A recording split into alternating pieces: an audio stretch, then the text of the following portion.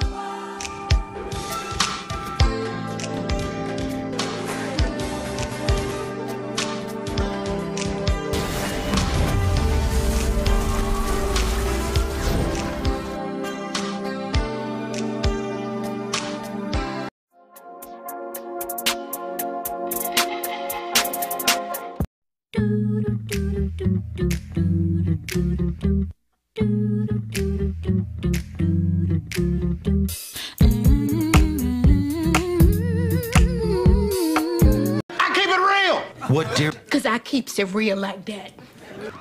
I keeps it real.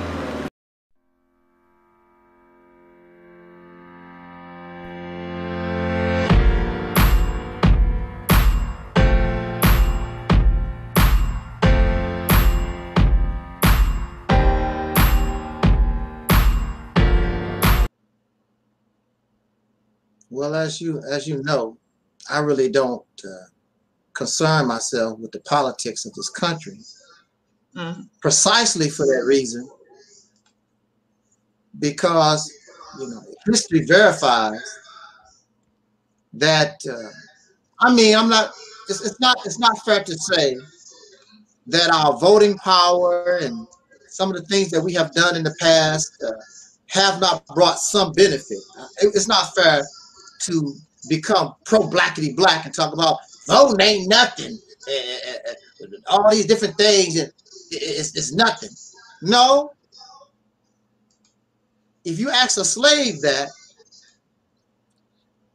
they would disagree with you from their position. You say that because you're comfortable, because you got it. You got certain uh, so-called rights and privileges that they did not have. They suffered, and many of them sacrificed and died, so that you could be the wonderful, beautiful, comfortable Negro laying in the background, laying on your ass about voting didn't do nothing. And you are living in a environment where uh, voting did do something. Don't say it didn't do. It might not. It might not uh, do what you believe it should have done. But then when you look at yourself, what have you done? You have not done nothing. Most of these people that talk voting didn't do nothing, and that over there ain't nothing, and blah blah blah.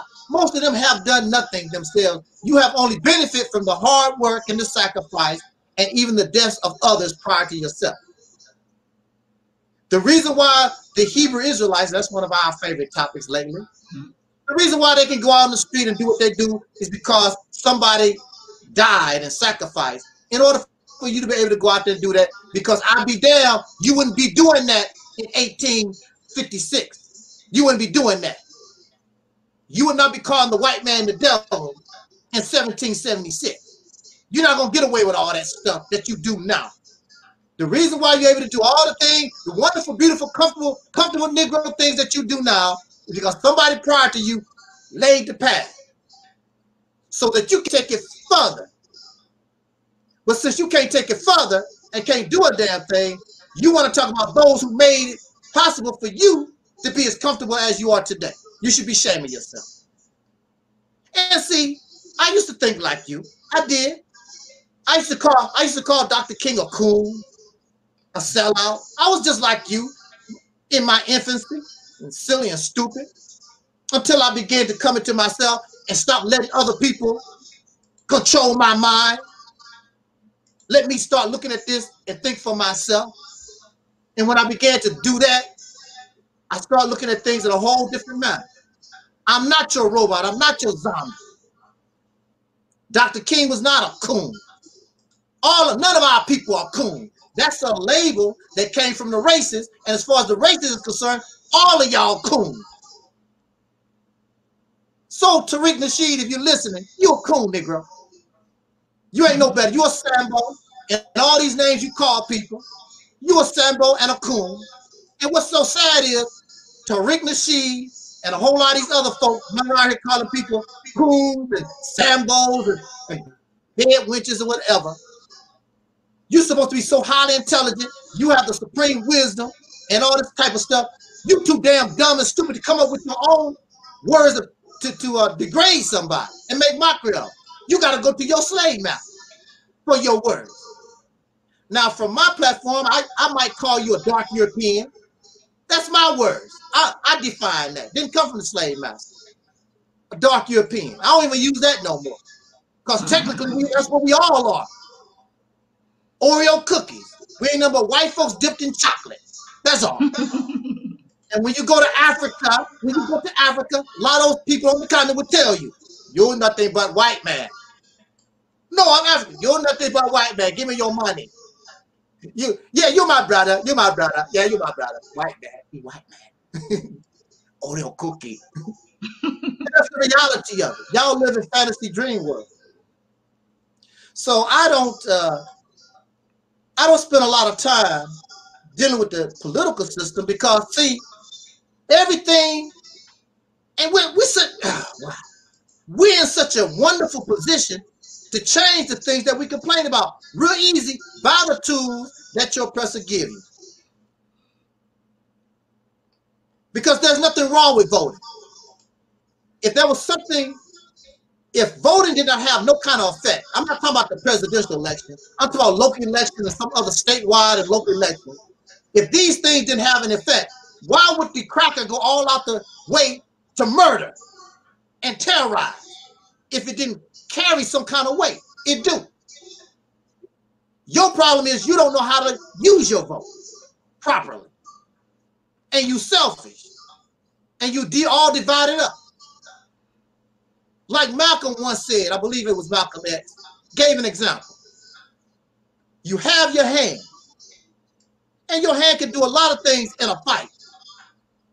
But when you start putting these fingers and thumbs together and make a fist, now you got power.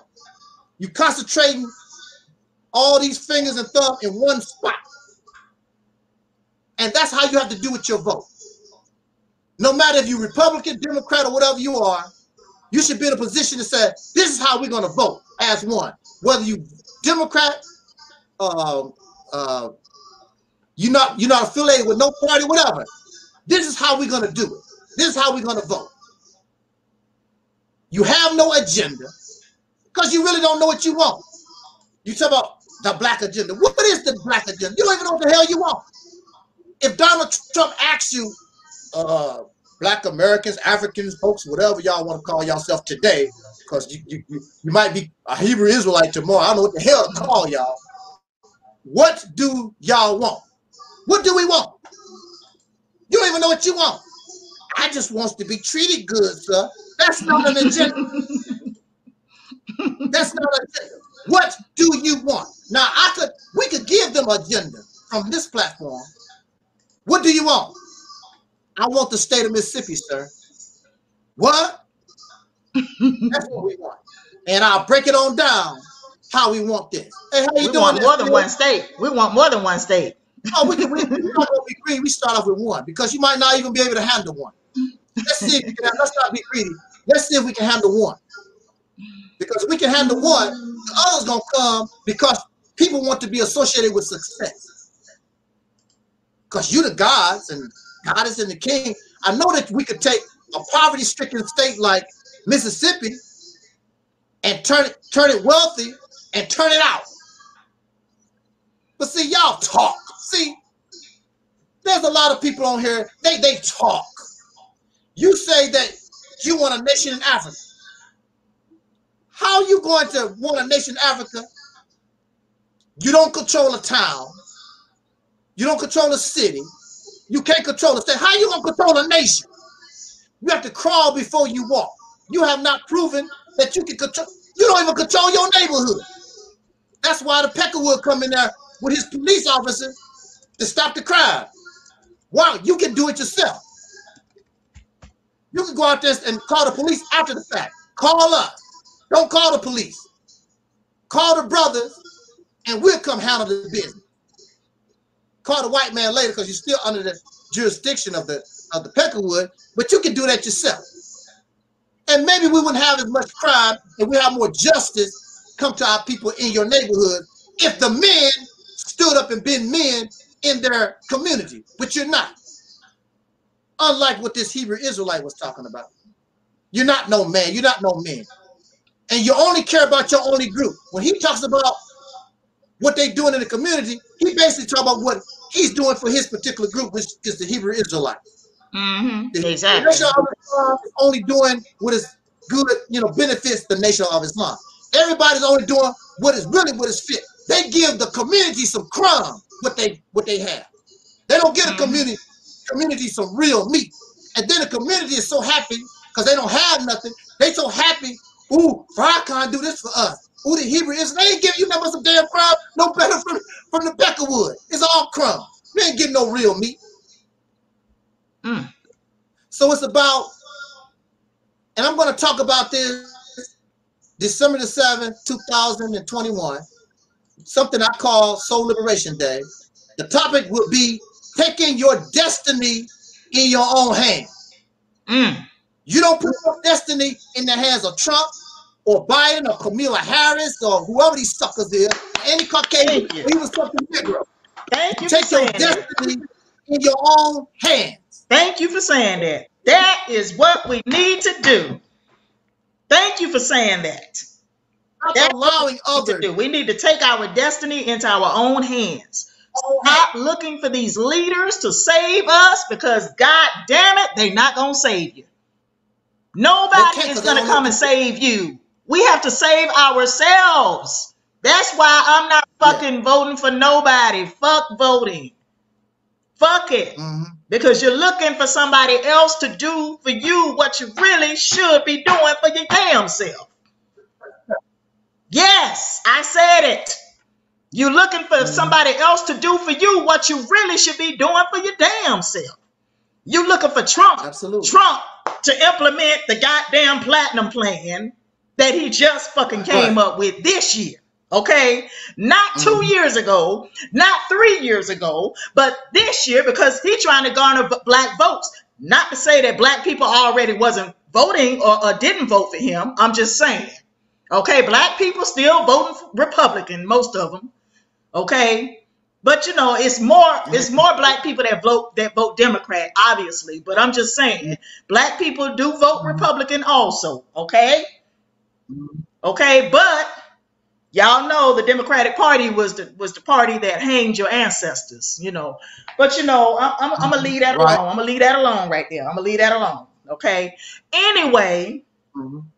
Whoo, thank you. You said a mouthful when you said take your destiny into your own hands. Thank you for saying that. Thank mm-hmm. you. Because mm-hmm. that is what we need to do. We sitting up here waiting on Trump, Trump to implement the platinum plan. Okay? We sitting up here waiting on the Democratic Party to do something for black folks in this country. And I'm telling you now, they don't care about your ass. They don't care about you. Mhm. They don't care about poor people. That's what I'm trying to Mhm. tell y'all. I'm not, we've been telling y'all. Me and Taalik been telling y'all. They don't care about poor people. The Mhm. plan is to keep a certain segment of the population as permanent underclass citizens. They have to exploit a certain segment of the population to keep capitalism going. That's the only way it works. To exploit a certain segment of the population. They don't give a damn about poor white people either. Right. They have to exploit a certain segment of the population to keep capitalism going. That's how it works. That is how capitalism works. Exploitation of poor people and black people mainly, and mm-hmm. people of color. Okay? Now, ooh, thank you for saying what you said. Ooh, you can you can continue on, hon. I love what you said. You can continue talking. Tell what you gotta tell. Tell it. See, I just had to chime in on that one. Ooh. you, you have to. Ooh. I mean, that's something that the hmm. Nation of Islam have always taught that we have to get up and do something for ourselves. Yes. We have to take our destiny in our own hands. Yes. That's something Nation of Islam has has taught, but they've been around for almost hundred years and haven't been able to do that. Mm. That's easy to say. I'm very sure many of you have come to that conclusion. We have to take our destiny in our own hand. The problem is, how do you do that? That's the problem. Mm. Screaming and hollering black power family and hotel, that's not going to solve your problem. That's not taking your destiny in your own. That's hyping you up, getting you ready. It's good to be inspired. It's good to be motivated. But if you don't have a, a the proper plan, you don't have, you really don't have, you really don't know what to do, all that don't mean nothing. And pretty soon you get tired because all your work and all your effort is not producing anything. The only way you can stay hyped and stay motivated and stay inspired if you produce something that can continue to inspire you to be hyped and motivated.